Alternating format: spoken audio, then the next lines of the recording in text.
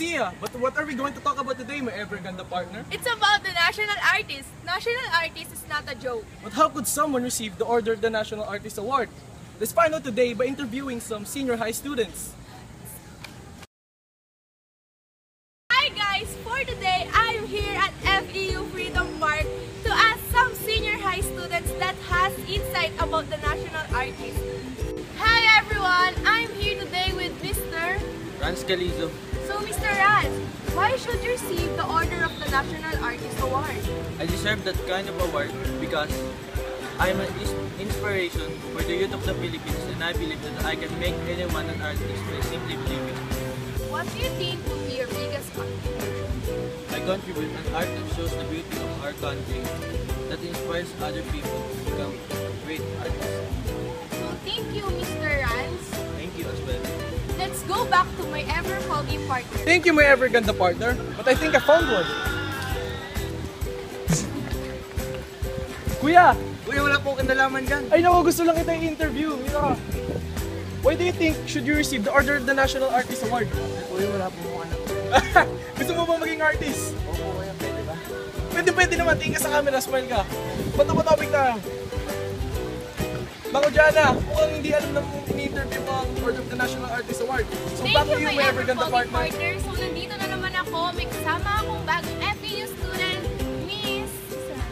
So, Miss Josiah, why do you think you should receive the Order of the National Artist Award? if ever may situation na nangyari sa akin, ah, dahil maganda ang mag- mag-contribute ko sa kabataan, kung nangyari sa akin. So, what do you think will be your biggest contribution? Ah, revolutionary art sa babae. Yung paghaluin ko yung modern at yung hindi modern. Sa babae, paano ko namin yung lessons. So, thank you, Miss Josiah. Thank you, my ever-ganda partner. So today I'm here with Mr. Joko. So Mr. Joko, why do you think you should receive the Order of the National Artist Award? I think I, I deserve that award because my work inspires a lot of people. Ay, Mr. Joko, very nice answer. Pero what do you think would be your biggest contribution? I think my biggest contribution into the world of art are the creations myself because they're not just painting or drawing. They are a message to everyone who will see it because they have their own interpretations. Okay, thank you, Mr. Joko. Very nice answer.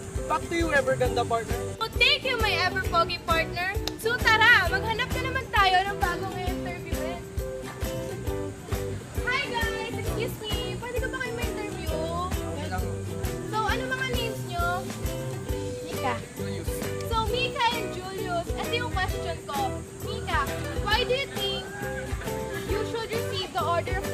Artist Award? Because I believe my talent can fully make a difference. So, for you, Julius, what do you think would be your biggest contribution? My biggest contribution will be knowledge. You master your skills so that I can perfect my masterpieces skillfully and with complete perfection. So, thank you, thank you for your answers.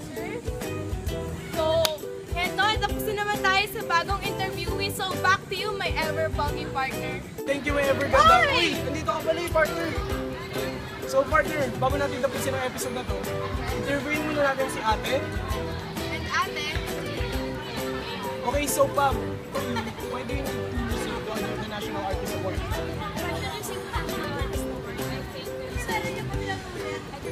Oh,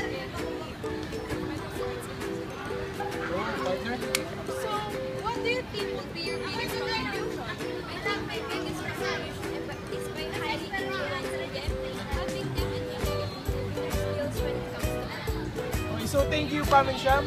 Okay, that's all for today, folks. So, once again, this is another episode of FEU Insider. I'm Gianna Saiko. And I'm Luis Garcia, signing off.